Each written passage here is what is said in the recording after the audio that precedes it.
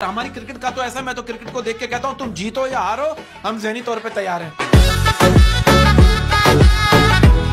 मैं अक्सर लोगों को कहते हुए सुना, यार, पागलों का कोई भरोसा नहीं। लेकिन कोई ये नहीं जानता कि भरोसा ही नहीं तो पागल क्या है? एक लड़का एक लड़का दो लड़कियों का पीछा कर रहा था, लड़की तेरी शर्म नहीं आती, दो लड़कियों का पीछा कर रहे चलो भाग जाओ।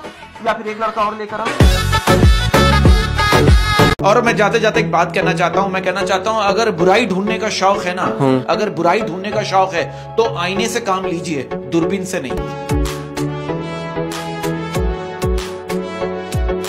हमारे मोहल्ले में एक लड़की की बारात थी आप बिलीव करो लड़की के अम्मी अब्बू कम और हम मोहल्ले के लड़के ज़्यादा रो रहे थे। अब यकीन करें एक हफ़्ते तक मैं हॉस्पिटल में एडमिट था। मैंने कहा पुप्पो मुझे देखने क्यों नहीं पुप्पो क्या करी? हमें किसी ने बुलाया ही नहीं। इसकी गलतियों को भुलाकर मैंने हर बार रिश्ता निभाया उसी ने मुझे हर बार फालतू होने का एहसास दिलाया। अब एक लड़की मुझसे कह रही है कि तुम सारे लड़के एक जैसे होते हो। मैंने कहा हर एक को ट्राई करोगी तो एक जैसे लगेंगे।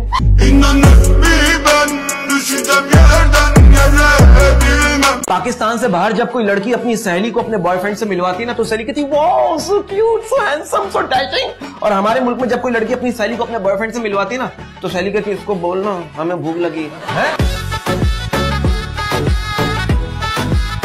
घर से बाहर जाते वक्त बीवी को बताकर जाना बीवी की गुलामी नहीं होती, बल्कि बीवी की परेशानी और फ़िक्र को कम करता है।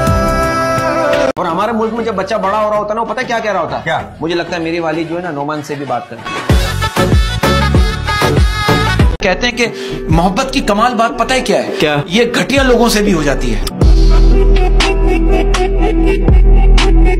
मैंने एक साहब से पूछा मैंने कहा ये एजुकेशन और एक्सपीरियंस में क्या फ़र्क है? वो साहब कहने लगे एजुकेशन करोगे तो पता लगेगा दुनिया गोल है। लेकिन जब एक्सपीरियंस करोगे तो पता लगेगा दुनिया तो मतलब ही है।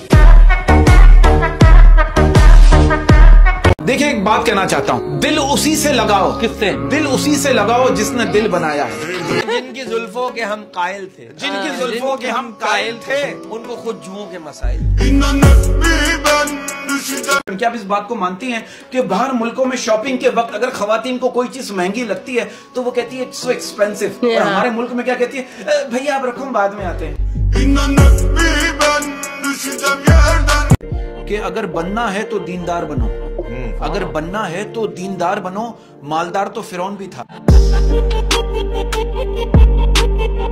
इसी बात को आगे बढ़ाऊँगा जरा अपने पॉइंट ऑफ़ व्यू से कि तेल बिना समोसा पक नहीं सकता।